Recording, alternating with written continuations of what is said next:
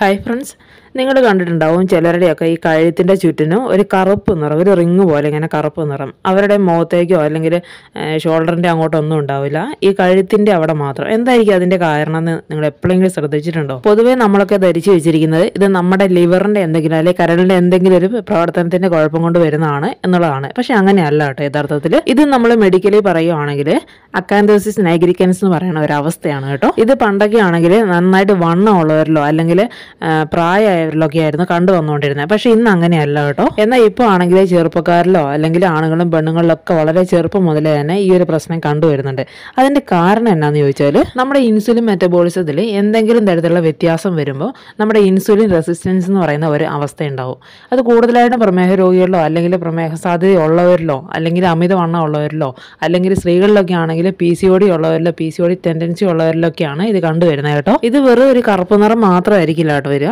അത് നമ്മൾ അവിടെ തൊട്ട് നോക്കുമ്പോൾ ചെറിയൊരു കട്ടിയുള്ളതായിട്ട് അല്ലെങ്കിൽ ഒരു പരിപരിത പോലെ അല്ലെങ്കിൽ ഒരു വെൽവെറ്റ് സ്കിന്നൊക്കെ ആയിട്ട് ഇരിക്കുന്ന പോലെ നമുക്ക് ഫീൽ ചെയ്യും. ഇത് ഈ കഴുത്തിന്റെ ആ ഒരു ഭാഗത്ത് മാത്രമായിരിക്കില്ല കേട്ടോ വരിക. ചിലർക്ക് അത് ആ, കഴുത്തിലുണ്ടാവില്ല പക്ഷെ അവരുടെ കഷത്തിന്റെ ഭാഗത്ത് ഉണ്ടാവും. അതുപോലെ തന്നെ ചിലർക്ക് ബ്രസ്റ്റിന്റെ മടക്കുകളിലുണ്ടാവും അതുപോലെ തന്നെ ചിലർക്ക് കാലിന്റെ തൊടയുടെ ഒക്കെ ആ ഒരു ഭാഗത്തായിട്ടും ഇതുപോലെ സെയിം പ്രോബ്ലം ഉണ്ടാകും കേട്ടോ.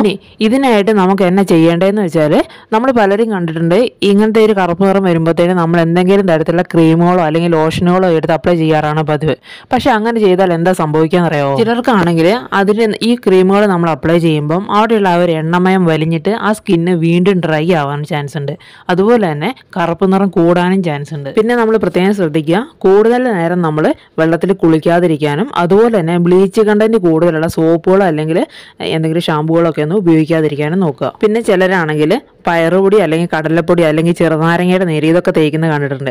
പക്ഷെ അതും നിങ്ങൾക്ക് ഡ്രൈ സ്കിൻ ആണെന്നുണ്ടെങ്കിൽ മാക്സിമം അവോയ്ഡ് ചെയ്യാൻ നോക്കുക. പിന്നെ നമ്മൾ ചെയ്യേണ്ടത് എന്നാന്ന് വെച്ചാൽ നമുക്ക് അമിതവണ്ണം ഉള്ളതുകൊണ്ടോ അല്ലെങ്കിൽ ഇൻസുലിൻ റെസിസ്റ്റൻസിന്റെ എന്തെങ്കിലും പ്രശ്നം ഉള്ളതുകൊണ്ടാണ് ഈ ഒരു പ്രോബ്ലം വരുന്നതെന്നുണ്ടെങ്കിൽ ആ പ്രോബ്ലം സോൾവ് ചെയ്യാനായിട്ട് നോക്കുക.